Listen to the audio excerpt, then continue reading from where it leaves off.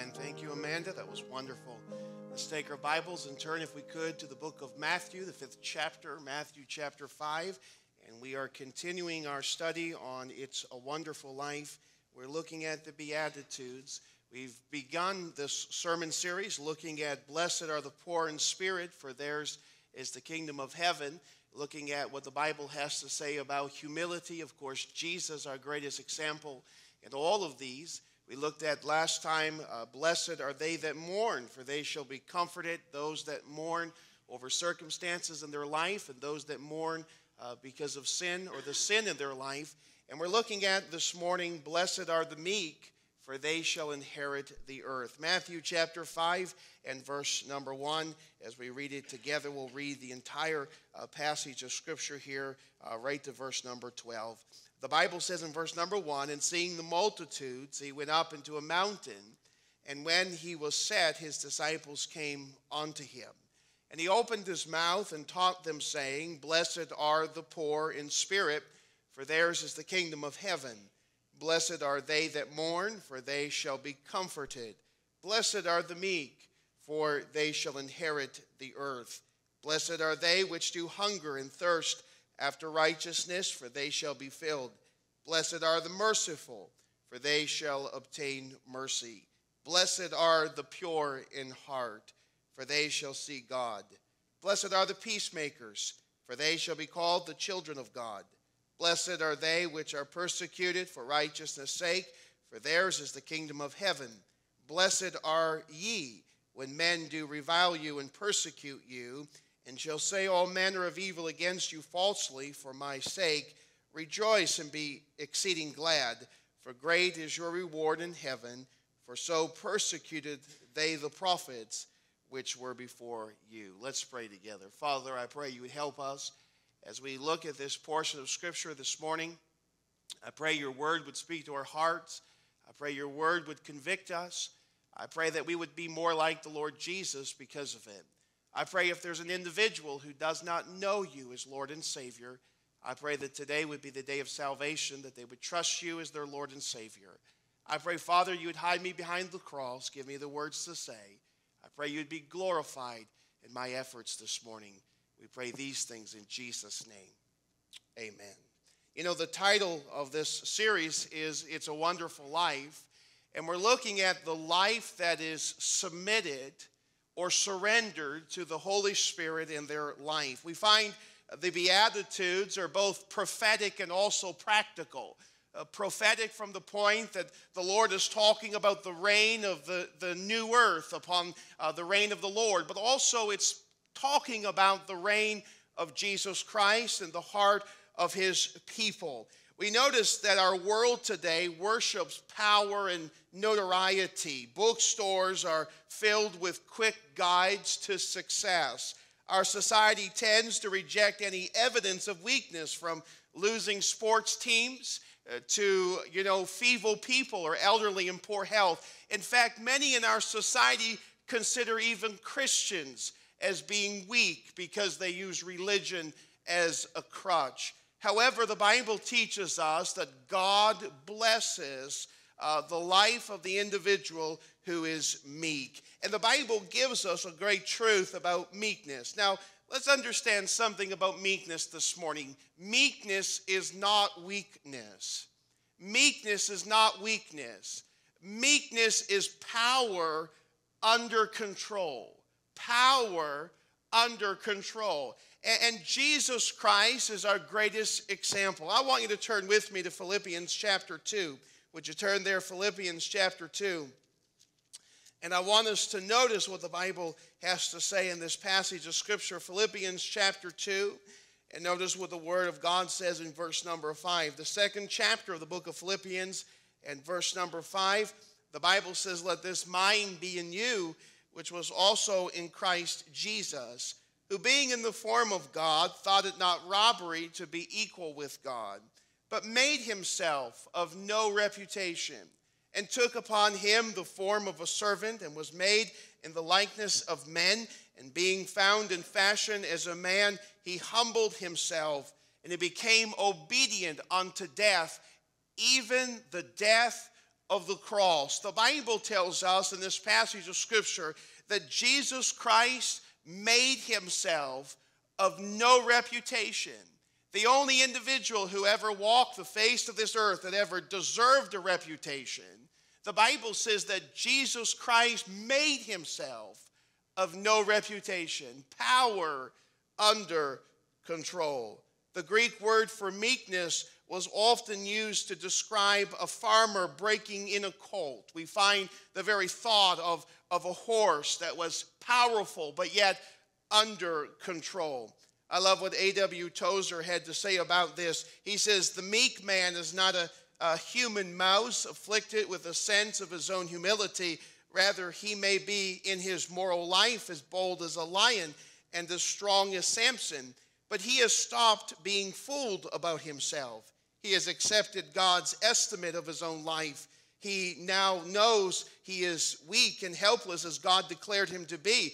But ironically, he knows at the same time that he is in the sight of God more important than the angels. In himself, nothing. In God, everything. This is his motto. In himself, nothing. But in God, everything. This is the motto of a man who is meek. The Bible says in Romans chapter 12, verse number 3, would you turn there with me? Romans chapter 12 and verse number 3. And notice what the Word of God has to say in this wonderful book of the Bible, the book of Romans, in the 12th chapter and the third verse. The Apostle, uh, the Apostle Paul is speaking, and he gives us a wonderful truth about our Christian life, about our view of ourselves. In verse number three, the Bible says, For I say, through the grace given unto me, and to every man that is among you, not to think of himself more highly than he ought to think, but to think soberly, according as God hath dealt to every man the measure of faith. You see, in ourself we are nothing, but in God we are everything. A sober view of our Christian life, in, in ourselves, nothing, in God, everything. Someone said the beatitude of meekness typifies the result of kneeling in total submission to God's will. It comes from the indwelling Holy Spirit and from allowing Him to produce Christ like character in us. Meekness says, Not my will, but thine be done. And so, as we think about this passage of Scripture in Matthew chapter 5, as we think about a wonderful life and the blessed life of being a meek individual, I want us to notice in the Word of God examples of meekness.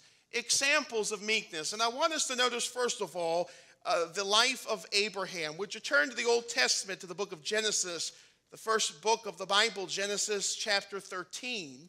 And I want us to notice the life of Abraham as we think of examples of meekness in Abraham's life. Genesis chapter 13 and verse number 7 together. The Bible says, verse number 7 And there was strife between the herdsmen of Abra- uh, Abram's cattle and the herdsmen of Lot's cattle, and the Canaanite and the Perizzite dwelleth then in the land. And Abram said unto Lot, Let there be no strife, I pray thee, between me and thee and between my herdsmen and, and thy herdsmen. For we be brethren, verse 9. Is not the whole land before us? Separate thyself, I pray thee, from me. And if thou wilt take the, uh, the left hand, and I will go to the right. If thou shalt depart to the right hand, then I will go to the left. Now, notice the strife that we find in this passage of Scripture between uh, Lot's herdsmen and Abraham's uh, herdsmen in this particular ta- uh, text. We also understand that Abraham had the power to take all of the land. But we notice in this passage of Scripture that he offered a portion to Lot. We find power under control. The Word of God tells us in Romans chapter 12 and verse number 10 be kindly affectionate one to another with brotherly love, in honor preferring one another, putting another individual before your own needs, before your own wants. And we find it in the life of Abraham. Though Abraham had power to take all of the land, we find in this passage of Scripture that he offers a portion of this land to Lot. We find that he was surrendered to God, and as he was surrendered to God, he also surrendered his life to others. We find meekness, we find the power uh, that he had, yet it was under control. You know, we just have to understand uh, this morning that just because we can doesn't mean we should. And just because we have opportunity to do so doesn't mean that that opportunity we should take it. And here we find this the meekness of Abraham as he gives a portion of the land uh, to Lot. I want us to think also in Genesis chapter 38 of a man named Joseph. Now, in Genesis chapter 38 and Genesis chapter 39, we are introduced to Joseph. He's sold into slavery. He's lied about by his master's wife. And, uh, you know, as you look at this passage of Scripture, he didn't start a writing uh, campaign, a, a bitter writing campaign, or a fight back organization. He, he's sitting in prison. We don't know how long that Joseph is sitting in prison, but he's waiting on the Lord. He's waiting on God. And one day he's placed in authority. Now, Joseph knew that God was in control of his circumstance. And, God places Joseph into authority. His brothers come for help. You know the story. And although Joseph had power, he could have sought revenge. He did not. He did not. Meekness reveals itself when we are right and have the power to hurt someone who is wrong. And we find the meekness of Joseph as his brothers come, and yet he did not seek for revenge, but he helps them along their way, and he loves them. And we find the forgiveness of Joseph in this passage of Scripture. We're looking at examples of meekness, and we can learn from these examples. Think about David. In 1 Samuel chapter 24, David could have taken Saul's life. But instead, the Bible says he only cut a portion of his garment, power under control. And even though he took a piece of his garment, he still regretted uh, that decision because he had touched the Lord's anointed. You know, the Bible says in Isaiah chapter 29, would you turn there as we think of David's life, we think of power under control. I want us to think about what the Bible says, Isaiah chapter 29 and verse number 19. Let's look at this verse together. Isaiah chapter 29 and verse number 19. The word of God says this the meek. And we're looking at the meek, we're looking at examples of meekness. The meek also shall increase their joy in the Lord, and the poor among men shall rejoice in the Holy One of Israel. It really gives us a great truth about a meek individual. You know, there's lots of people who are running around seeking for revenge, bitterness in their heart, and all they're doing is, is looking for an opportunity that they can get this person back or, or, or tell that person a piece of their mind. And yet they are so unhappy people. But we find the meekness in an individual's life. We find an individual who is meek. The Bible says their, their, their joy shall increase because they are looking to the Lord. They are looking to God. They are trusting in the Lord. They're trusting in God for their life. And so we find examples of meekness. But I want us also to see this morning the examination for meekness. We're going to have a test this morning. We're going to see if we're meek people. I want us to turn back to Psalm 37. It was our scripture reading this morning. But I want us to turn back there. I want to read it one more time as we move into this examination for meekness, some questions about meekness in our own life as we examine our own hearts and our own life. In Psalm 37, verse number one, the Bible gives us a blueprint for trusting the Lord or, or following the Lord in our life. And many times we fret and, and we are overcome by the cares of this world. And yet the Bible gives us really a, a remedy in trusting the Lord and looking to the Lord. In verse 1, the Bible simply says, Fret not thyself because of evil, evildoers, neither be thou envious against the workers of iniquity, for they shall soon be cut down like the grass and wither as the green herb. Trust in the Lord and do good. So shall thou dwell in the land, and verily thou shalt be fed. It speaks of the provision of God. As you trust the Lord, God takes care of our needs. Delight thyself also in the Lord, and he shall give thee the desires of thine heart. Commit thy way unto the Lord. Trust also in him, and he shall bring it to pass. And he shall bring forth thy righteousness as the light, and thy judgment as the noonday.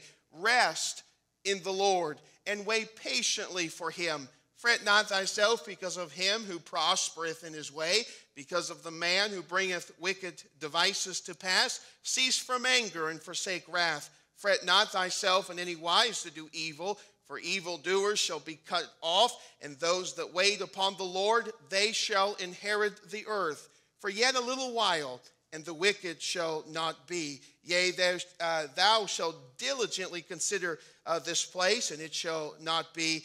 The meek shall inherit the earth, and shall delight themselves in the abundance of peace. The meek, the meek shall inherit the earth, and shall delight themselves in the abundance of peace. Let me give you some questions as we examine our life. Are we a meek people? First of all, do we become angry or fretful easily? Do we become angry or do we become fretful easily? When circumstances change quickly in our life, is the first thing we do is trust in the Lord or is the first thing we do is worry and fret or become angry? The Bible says in verse 3 in this wonderful psalm, trust in the Lord and do good. Trust in the Lord, so shall thou dwell in the land, and verily thou shalt be fed. Trust in the Lord, and God will provide. Trust in the Lord, he is in control. Delight thyself also in the Lord, and he shall give thee the desires of thine heart. Commit thy way unto the Lord. Trust also in him, and he shall bring it to pass. Look at these expressions Trust in the Lord. Trust also in the Lord. Delight thyself also in the Lord. Commit thy way unto the Lord. You see, the meek man focuses on Jesus Christ. The meek man focuses his attention on Christ. And so the question is do I become angry or do I fret easily? Let me ask you the second question this morning Do I accept God's word easily? I want you to turn to James chapter 1. James chapter 1 in your Bible. James chapter 1. Do I accept God's word easily? We find in James chapter 1, it's talking about receiving the word of God in our life. The Bible says in James chapter 1, verse number 21, the Bible says, Wherefore lay apart all filthiness and superfluity of naughtiness, and receive, now here it is, receive with meekness the engrafted word which is able to save your soul. The word of God teaches us and proclaims to us Jesus Christ, the Savior, Savior of the world. It is Him in whom we have eternal life. And the Bible says that as we look at the Bible, we are not to look at it as just another book, but it is a living book. And we are to easily accept the Word of God in our life. We are to accept it as God's Word, God's revelation. And the Bible says we are to accept it with meekness, with meekness. And so the question is do I accept God's Word easily? Heard the story of a little boy who was sitting in junior church and he was told to sit down uh, one Sunday morning. And the teacher told him, You know, Johnny, have a seat. And uh, that little boy looked at the teacher and said, I'm sitting on the outside, but I'm standing in the inside. And so many Christians have that attitude toward the things of God. It is the very attitude of rebellion. And yet the Word of God speaks to our heart, and we have the attitude, I won't do that, or I won't be a part of that, or I'm not going to do that in my life. And yet the Bible says that we are to accept the Word of God. We are to accept the Word of God with meekness, power, under control. Oh, yes, you have a free will and you can do what you want. But as we look at the Word of God, we are to submit to the Word of God and say, Not my will, but thine be done. And we are to submit to the Word of God. And so we have this question Do we receive the Word of God? Let me give you a second question. Do I become, uh, not only do I accept God's Word easily, Do I become angry or fretful easily? But let me ask you this question Do we seek unity? Do we seek unity? Ephesians chapter 4, verse number 1. The Apostle Paul penned, I therefore, the prisoner of the Lord, beseech you that ye walk worthy of the vocation wherewith ye are called, with all lowliness and meekness, with long suffering, forbearing one another in love, endeavoring to keep the unity of the Spirit in the bond of peace. We find, do we seek unity? The Bible says that we are to love each other and forbear each other in love, and we are to endeavor for that unity, and we must do it in lowliness, that's humility, and we must do it also in meekness. How is our attitude towards someone who disagrees with us? How is our attitude towards someone who disagrees with us? 2 Timothy chapter 2 verse 24, and the servant of the Lord must not strive but be gentle unto all men, apt to teach and patient. The Bible says in 1 Peter chapter 3 verse 15, but sanctify the Lord God in your hearts and be ready always to give an answer to every man that asketh you the reason of the hope that is in you with meekness and with fear, with meekness and with fear. And so there's examples of meekness. There's this test, there's this examination. Are we a meek people? But I want us to notice, lastly, in this passage of Scripture, the exercise of meekness. Would you turn to Galatians chapter 5 in your Bibles? Galatians chapter 5. Now, as we think of the Beatitudes, Uh, prophetically speaking of the new earth, the reign of the Lord, the millennial reign of the Lord, but also practically, it's us submitting to the Lord Jesus Christ in our life. It is us bearing the fruit of the Spirit of God as we submit to Him, not my will, but thine be done. And we find in Galatians chapter 5 the fruit of the Spirit. Now, fruit is cultivated, not manufactured. And we find in this passage of Scripture the fruit of the Spirit. This is the revelation of the control of the Spirit of God in an individual's life. The Bible says in verse 22 of the fifth chapter, but the fruit of the Spirit is, and it gives us a list here. The Bible says the fruit of the Spirit is love and joy and peace, long suffering, gentleness, goodness, faith meekness, temperance. Against such there is no law. You see, meekness is cultivated through difficult experiences. Difficulties in our life will either cultivate a spirit of, of meekness, or difficulties in our life will cultivate a spirit of rebellion. And we find that we are to submit to the Word of God. We are to submit to the Spirit of God. In fact, there's no remedy. The Apostle Paul, writing to the Church of Rome, declares to them that they are to put on these things. The Bible says, Put on, therefore, as the elect of God, holy and beloved, bowels of mercies and kindness, humbleness of mind, meekness, and long suffering. So we are to put these things on in our life. As we experience meekness, we inherit the earth. Now, prophetically, God will reign in the millennial uh, kingdom one day. There's no doubt about it. We're looking forward to that day. But practically, as we submit to the Spirit of God, as we, as we submit to the work of the Spirit of God in our life, and as we humble ourselves to the Lord, as we put on these things, the Spirit of God works in our heart and in our life, and we notice the reign of Jesus Christ in our life today. The Bible says in Psalm 37 Trust in the Lord and do good, and, and so shall thou dwell in the land, and verily thou shalt be fed. Now, it's interesting, the Bible says that the meek shall inherit the earth. Now, usually an inheritance is given when an individual dies, you receive an inheritance. And yet, in this passage of Scripture, the inheritance is given when we die to ourselves. And when the Spirit of God is reigning in, in our heart, you see, meekness seeks nothing for self and receives all things from God. And we have wonderful examples in the Word of God, like Joseph and like David and like Abraham. The Bible says, Blessed, happy are the meek. And as we look at a, a, life that is controlled by the Spirit of God, you could either be cultivating in your life a spirit of rebellion and the spirit of, uh, of jealousy or envy or a spirit uh, uh of, of, of anger and wrath, or you could be cultivating in your life a spirit of meekness, power under control, trusting the Lord, fretting not about tomorrow, trusting God from day to day.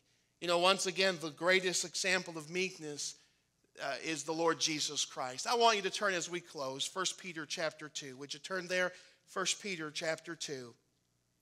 And I want us to notice the meekness of the Lord in second, 1 Peter, excuse me, 1 Peter chapter 2 and verse number 23. 1 Peter chapter 2 and verse number 23. The Bible says, Who, uh, speaking of Jesus, who when he was uh, when he was riled, uh, reviled, uh, reviled not again, when he suffered, he threatened not, uh, verse number 23, but committed himself to him that judgeth righteously, who his own self bare our sins in his own body on the tree, that we, being dead to sins, should live unto righteousness, by whose stripes ye were healed. Isaiah chapter 53, verse 7, the Bible says that he was oppressed and he was afflicted, yet he opened not his mouth. He is brought as the lamb to the slaughter, and as the sheep before her shearers is dumb, so he opened not his mouth. Power under control, submission to his Father, obedience to the death of the cross. He sought his not his own gain. The Bible says though he was rich, he became poor for your sakes. He sought not his own gain, but the gain of others.